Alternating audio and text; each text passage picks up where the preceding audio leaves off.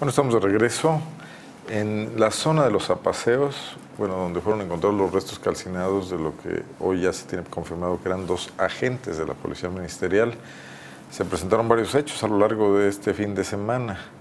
Operativos de la Procuraduría de Justicia intensos para tratar de dar con los responsables de este hecho criminal. No, no se ven tan intensos cuando se trata de otra clase de homicidios, pero esta vez les habían golpeado directo a la corporación al haber asesinado e incinerado los cuerpos de dos de sus compañeros. Estos operativos generaron eh, también reacciones de grupos en Apaseo del Alto que bloquearon carreteras, hicieron fogatas el sábado por la noche para amanecer el domingo.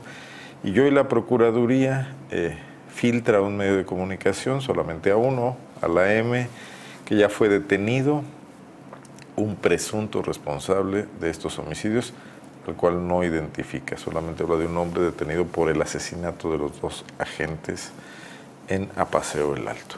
En la línea telefónica mi compañero Luis García, quien bueno, pues estuvo al pendiente de toda esta situación, tiene el pulso de todo lo que ha venido pasando allá. Luis, ¿cómo estás? Bueno, bueno.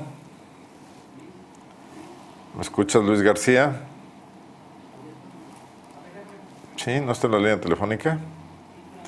Déjeme decirle en lo que ubicamos esta llamada. Los agentes de la Agencia de Investigación Criminal fueron identificados ya oficialmente como José Manuel Ortiz, José Manuel D. Ortiz, originario de Silao, y César Francisco Quesada López, originario de Tarimoro.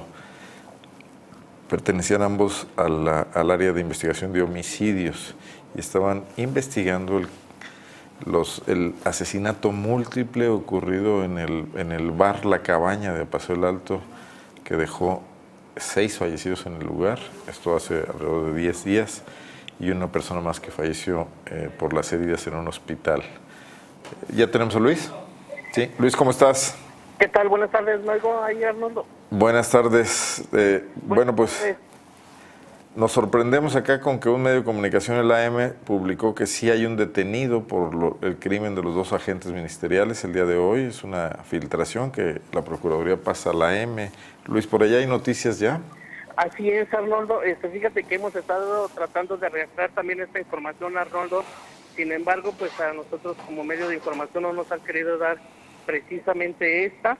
Este, como al periódico que tú mencionas, este, por acá dicen que todo lo está manejando Directo a la oficina del procurador, ¿verdad? Que es donde ocurren las filtraciones. Que es de donde se está filtrando la información a Y bueno, platícame de lo que pasaba el sábado en la noche, porque eran estos operativos los que estaban provocando una serie de reacciones como bloqueos carreteros, Luis.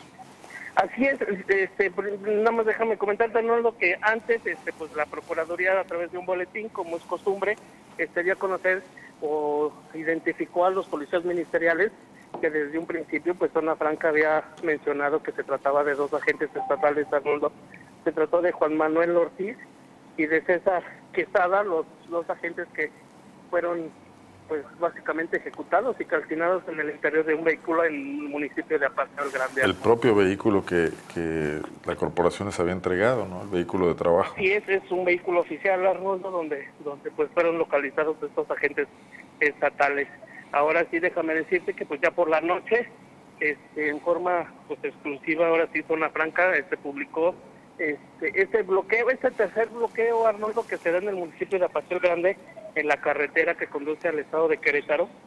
Este, recordarás que dos veces anteriores fue por la misma situación, por los operativos y con la fuerza que, que son estos operativos, con la brutalidad, dice la población, Arnoldo, que hace los operativos la policía ministerial. No, bueno, pues andaban, andaban molestos, andaban agraviados y yo creo que eso implicaba que si estuvieran en el terreno actuando sin ninguna consideración.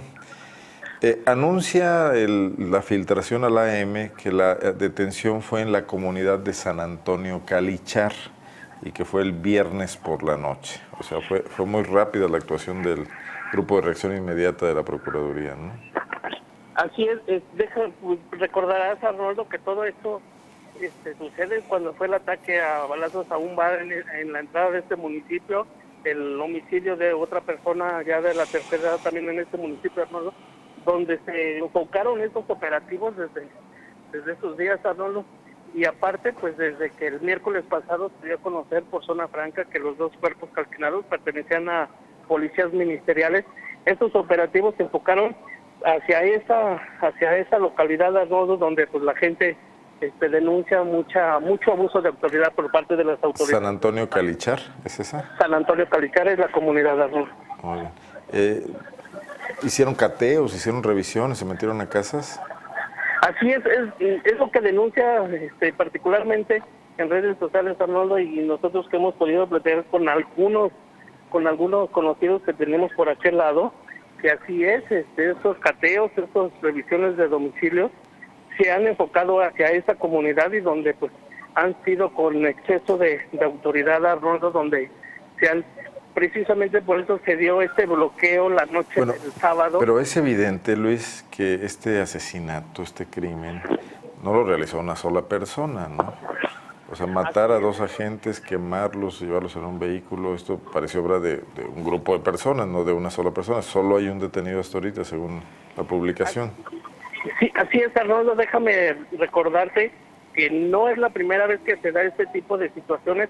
Recordarás que la primera vez que se dio este, estos operativos eh, en varias comunidades también de Paso del Alto fue precisamente también por el homicidio de dos agentes estatales que fueron levantados. En esta ocasión, si no me recuerdo, eran agentes de investigación de robo a vehículos. ¿Que luego apareció el cadáver solo de uno? No, fueron los dos, Arnoldo, en su vehículo oficial también. Estos fueron localizados ya cerca de los límites de Cámbaro y Michoacán, no sé si recordarás por ahí. Sí, ya recuerdo. 2016.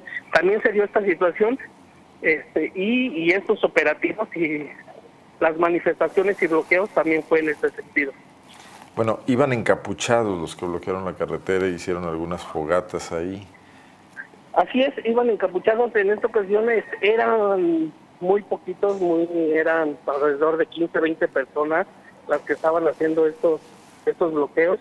Por, por tal motivo no duró tanto el bloqueo, Arnoldo duró y nosotros publicamos la información alrededor de las 11, 11 y media de la noche, a las 12 ya habían se habían retirado esas personas. ¿Se hicieron presentes las autoridades para tratar de impedir el bloqueo?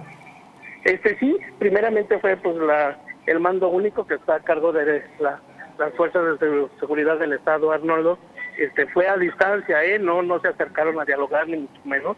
Los que se acercaron fueron bomberos a, que, que, apagaron, este, de hecho, un vehículo que incendiaron que estaba ahí, este, las llantas.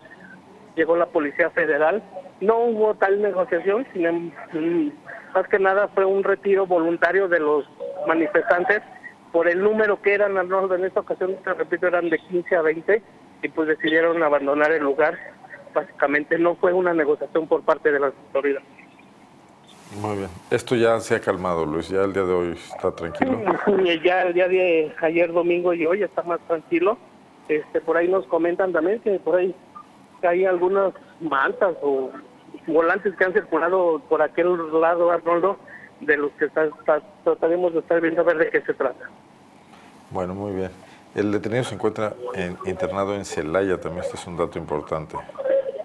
Este, mira, nosotros estamos acá, Arnoldo, en estos casos, como se tratan de agentes estatales, Arnoldo, no los, no los detienen, bueno, es la experiencia, te lo digo, como una experiencia personal no los retienen aquí en el, en el municipio, sino que se los llevan hasta Guanajuato, donde los interrogan y los investigan. ¿eh?